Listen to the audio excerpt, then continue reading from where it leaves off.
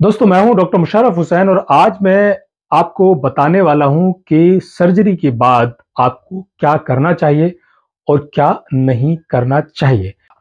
तो बात कर लेते हैं कि सर्जरी के बाद आपको किन किन बातों का ध्यान रखना चाहिए, जिससे आप आने वाले खतरे को या कॉम्प्लिकेशंस को टाल सकते हैं। देखिए, सर्जरी के बाद जब आप शिफ्ट हो जाते हैं वार्ड के अंदर तो कई सारे चेंजेस होते हैं आपके शरीर के अंदर जो बेहोशी की दवाई के कारण होते हैं।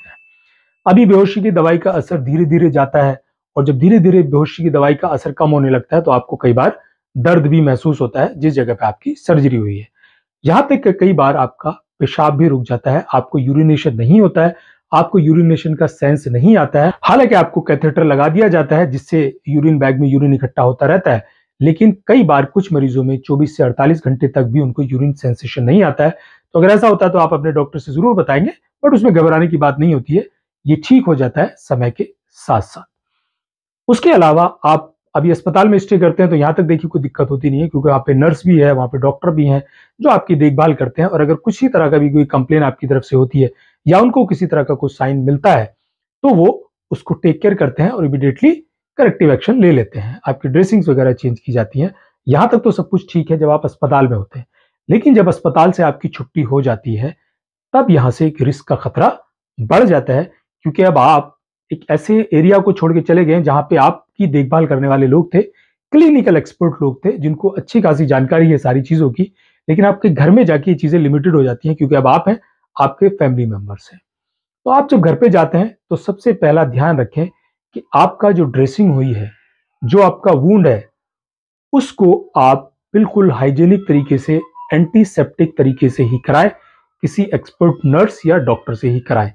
खुद से ड्रेसिंग करने की कोशिश ना करें, क्योंकि सबसे बड़ा खतरा उसमें यहीं पे यह होता है कि आपकी ड्रेसिंग में अगर इन्फेक्शन हो जाता है तो आपकी वुंड में इन्फेक्शन हो जाता है, जिससे हीलिंग आपकी बहुत ज़्यादा डिले हो जाती है और कई बार बॉडी में भी इन्फेक्शन फैलने का खतरा बढ़ जाता है।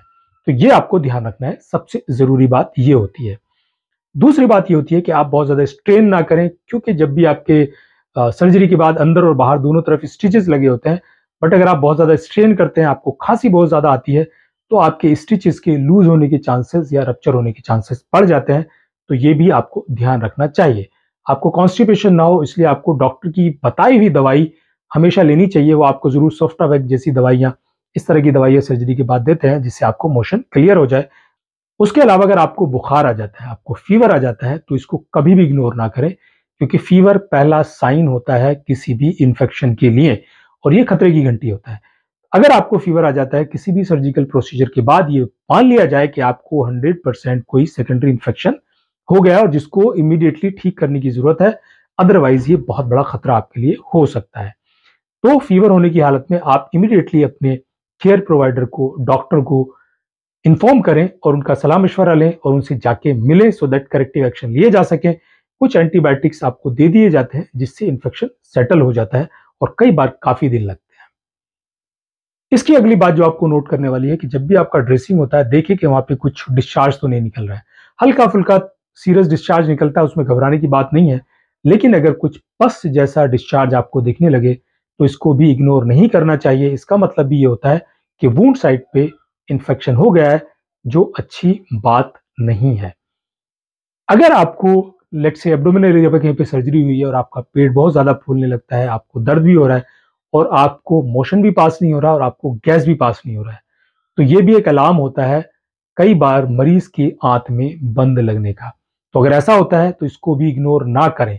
इमिडिएटली अपने डॉक्टर को बताएँ जाके कि आपको इस तरह की दिक्कत हो रही है। हालाँकि शुरुआती दिनों में देखिए, हफ़्ता दस दिन ज़रूर आपको थोड़ा बहुत दर्द होगा डिस्कम्फर्ट रहेगा।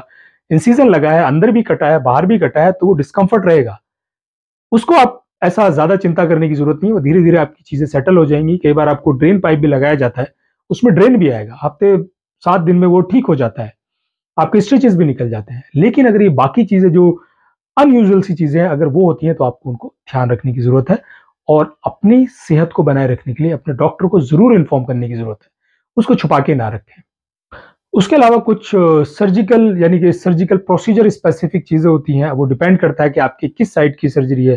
पेट की सर्जरी है अपेंडिक्स की सर्जरी है गॉल ब्लैडर की सर्जरी है हार्ट की सर्जरी है नीज की सर्जरी है, हड्डी की सर्जरी है, उस पर डिपेंड करती हैं बहुत सारे सिम्टम्स बहुत सारी चीज़ें, बहुत सारी एक्सरसाइजें तो उसमें आपका जो डॉक्टर ने डिस्चार्ज एडवाइस आपको लिखा है, उसको फॉलो करें, उसको इग्नोर ना करें।